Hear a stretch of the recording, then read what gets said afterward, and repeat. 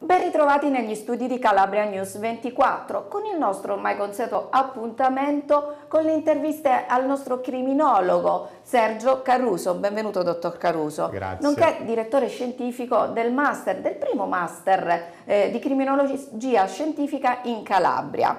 Con, oggi affrontiamo una problematica eh, particolare, una questione, un fenomeno che si sta verificando sempre più spesso e che, eh, sul quale sono accesi quasi tutti i riflettori della stampa anche nazionale, quello del bullismo, delle aggressioni, degli insulti verso i professori ragazzi che eh, si, mh, in qualche modo manifestano loro, eh, dei loro disagi eh, all'interno del, del, mondo non solo sociale ma soprattutto della classe. Che cosa sta avvenendo, dottor Caruso, no nella nostra scuola?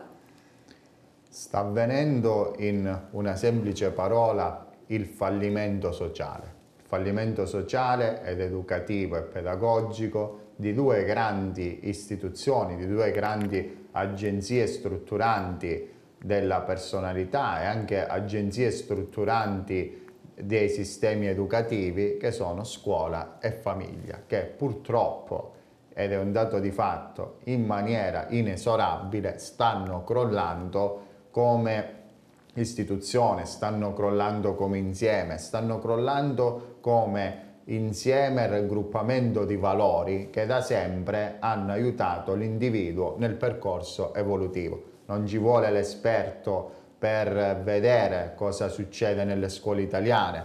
In un famoso sito eh, di YouTube, una famosa pagina di YouTube, Scuola Zoo, mi sembra che si chiami, sì. eh, da molti anni si vedono questi gesti dimostrativi queste violenze che più che gesto dimostrativo e fatti ricollegabili al bullismo, a tendenze che sono un'altra cosa, io richiamerei degli episodi di violenza scolastica. Cre diciamo che anche la stampa si è trovata un po' in difficoltà in questo periodo a definire il fenomeno, sì. si chiama addirittura bullismo all'inverso sì. e quello di Lucca è l'ultimo caso, ma ce ne sono stati tantissimi. Poi eh, diciamo che eh, sia la stampa che eh, chi si occupa di queste cose come eh, me in questo caso, visto che sono anche esperto di pedagogia e servizi psicoeducativi, ci troviamo in seria difficoltà Fabrizia ci troviamo in serie difficoltà perché non abbiamo precedenti della letteratura scientifica,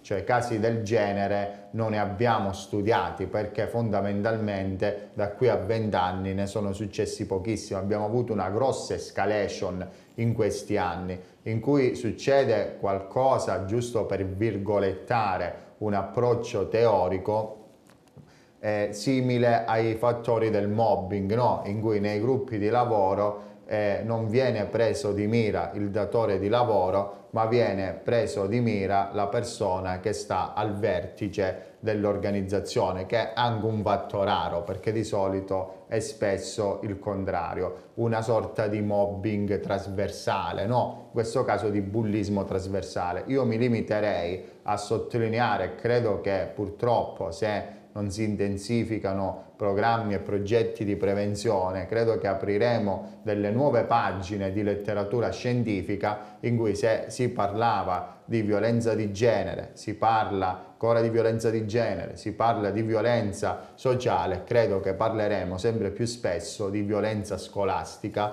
come nuova nomenclatura.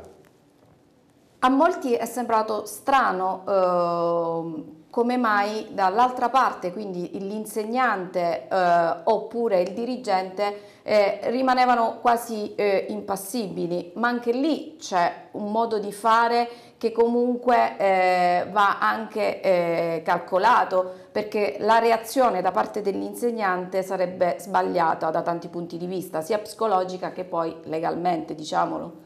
Io credo che fare l'insegnante in questo momento storico così difficile, estremamente complesso, cui devono avere una formazione ben specifica, devono essere inseriti in un'equipe di coordinamento in cui ci sia inevitabilmente due figure, la figura dello psicologo e del pedagogista esperto in dinamiche scolastiche. Perché questo? Perché ora non ci dobbiamo confrontare più con, o non solo, con ragazzi che vanno male a scuola, che non arrivano al 6, che non fanno i compiti di matematica, ma ci dobbiamo confrontare con il disagio che è sempre più emergente. È quello che è successo in quel video che abbiamo visto tutti, vi posso raccontare in maniera indiretta delle esperienze scolastiche che ho avuto nei eh, consultori, in un'equipe psicoeducativa, nelle consulenze che ho fatto alle scuole, che purtroppo è un'emergenza allargata da nord a sud,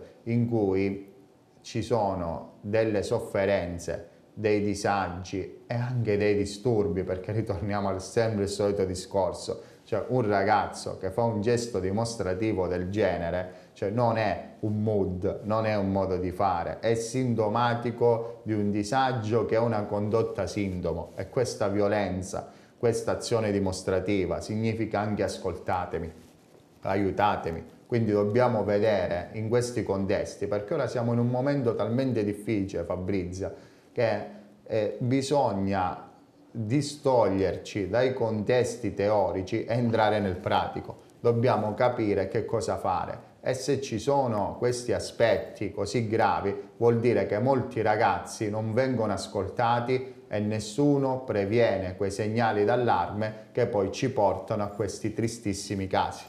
L'ascolto è sicuramente uno prim dei primi elementi fondamentali eh, nella costruzione di una personalità, ma c'è anche qualcos'altro, gli esempi, qualcuno diceva eh, che i giovani non hanno bisogno di sermoni ma di esempi da seguire. Possiamo anche eh, inserirlo in questo contesto dicendo che alla fine forse gli manca proprio questo alla nuova generazione, degli esempi anche all'interno di un contesto familiare, quindi padre, madre, più, eh, più certi, comunque l'assenza della figura anche genitoriale ha influito in questi atteggiamenti. Ritorniamo all'altro aspetto che è la famiglia. Io spesso mi trovo in tantissime difficoltà perché sono un essere umano e so che ho strumenti che possono fallire e so soprattutto che nessuno di noi è perfetto. Ma dove mi trovo estremamente in difficoltà è quando mi occupo di minori a rischio e inevitabilmente vedi le famiglie. Davvero capisci la disgregazione educativa in cui, attenzione, questo lo voglio dire a chi eh, ci sta vedendo, lo voglio dire in maniera molto attenta, che non è un'emergenza economica e nemmeno socioculturale, è un'emergenza valoriale, emotiva e affettiva, in cui il ruolo del papà, che è fondamentale, viene sempre sminuito e ci sono molti soggetti che, tra parentesi, dovrebbero rivedere la propria genitorialità dal punto di vista dell'affettività e dell'accudimento, la mamma, idem, la mamma è fondamentale perché se il padre rappresenta le relazioni sociali, la sicurezza e gli stili educativi, la mamma rappresenta l'affettività e lo, dice, lo dicono pagine e pagine della letteratura, però purtroppo si crea un fenomeno nelle famiglie che si chiama patchwork, che è un fenomeno sociale ed è l'isolamento interno. Esempio classico, una famiglia, quattro persone sedute a un tavolo che parlano con soggetti sui social a chilometri di distanza ma non parlano tra di loro. Questi sono i fattori prodromici di personalità a rischio che compiono quello che vediamo, perché se nessuno li ascolta questi ragazzi, se non hanno punti di riferimento, si faranno ascoltare in ogni modo che ritengono opportuno. E qual è il modo più atavico in conclusione, quindi, qual è L'aggressività. Sì. Quindi in conclusione eh, il suo consiglio mm, brevemente? Il mio consiglio breve, diretto e chirurgico è quello di ascoltare questi ragazzi, di prevenire e soprattutto chi compie un gesto del genere deve essere messo in condizioni di non farlo più, fargli Anche capire con, delle, con, con i mezzi punizioni? della giustizia che è un reato, non è un gioco, quindi devono anche essere tra virgolette puniti a livello giuridico, ma insieme alla punizione c'è la rieducazione, perché non dobbiamo assolutamente entrare in quei contesti inquisitori in cui peggioreremo soltanto le cose a dismisura. Quindi dobbiamo capire l'importanza della rieducazione e soprattutto che tutti questi atteggiamenti non sono giochi, non sono cult e voglio dire ai ragazzi che ci ascolteranno, non pensate assolutamente di farla franca tra parentesi perché sono azioni che con il tempo della legge andranno sicuramente visti e puniti. Grazie, grazie dottor Caruso. Eh, diretto, come ha detto lei, e chirurgico. Eh, grazie per essere stati con noi, al prossimo appuntamento.